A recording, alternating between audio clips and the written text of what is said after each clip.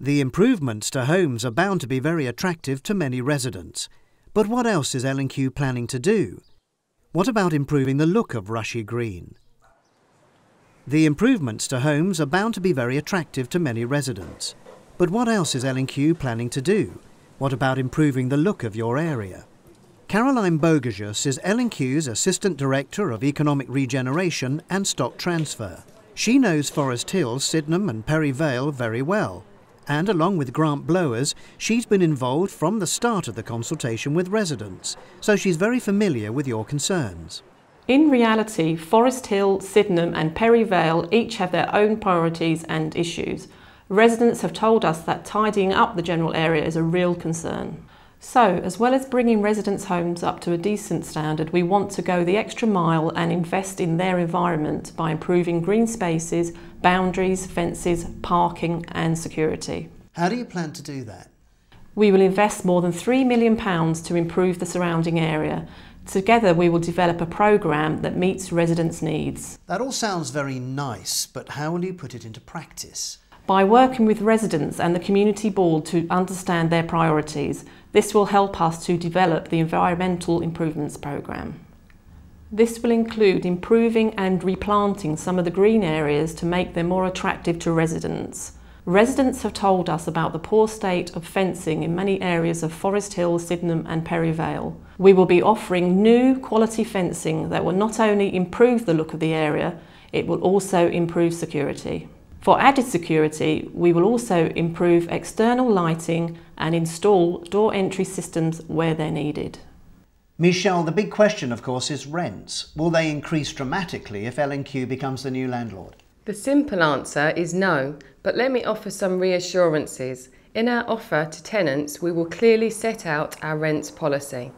The government has stated that all tenants across the country should pay the same rent, whether they're with the council or a registered provider.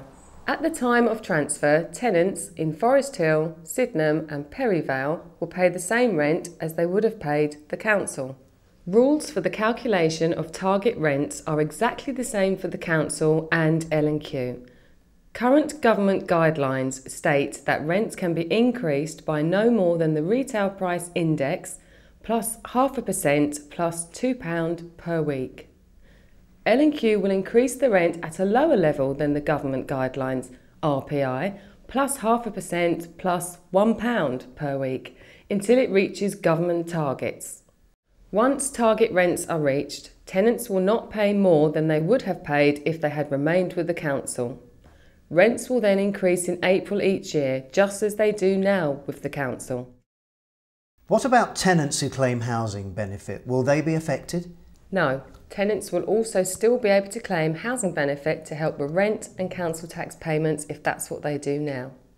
All the details about rents are explained in the offer document, which will be sent to each tenant shortly. But if they have any concerns, they should come and talk to us. We're here to help. So far, we've heard that L&Q plans to invest heavily in making improvements to your homes and your environment. But what about the many rights that tenants have under the council? Will those change if L&Q becomes the landlord?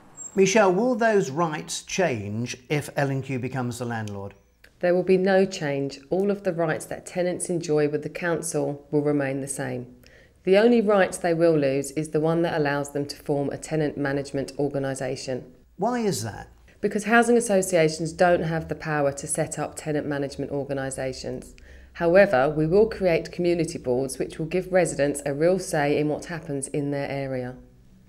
The Forest Hill, Sydenham and Perry Vale Community Board will have real power to influence and monitor our performance and service to residents.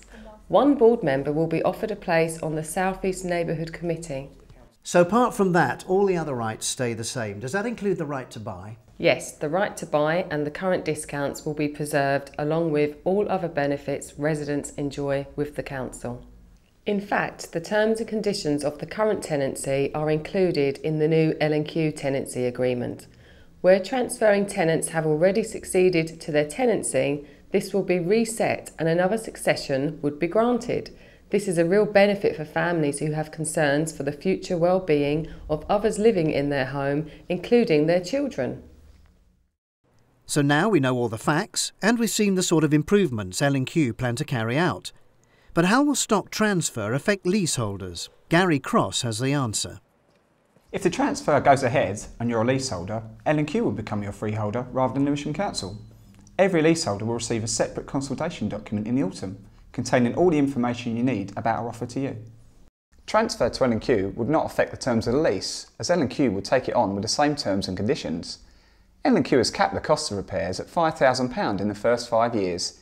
This means we will only charge leaseholders up to £5,000 for any repair work to the structural and communal parts of the building in the first five years of transfer, and only by the terms of the lease.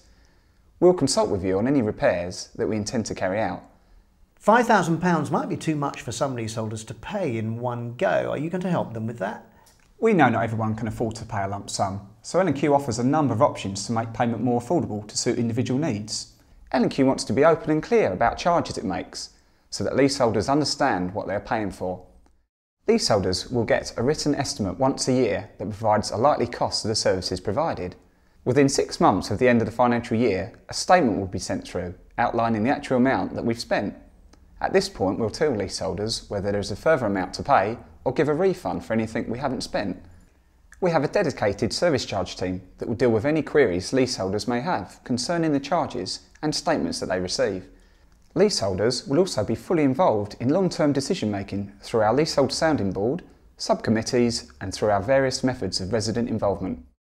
Some leaseholders may like to make improvements similar to the ones that are offered to tenants in their homes.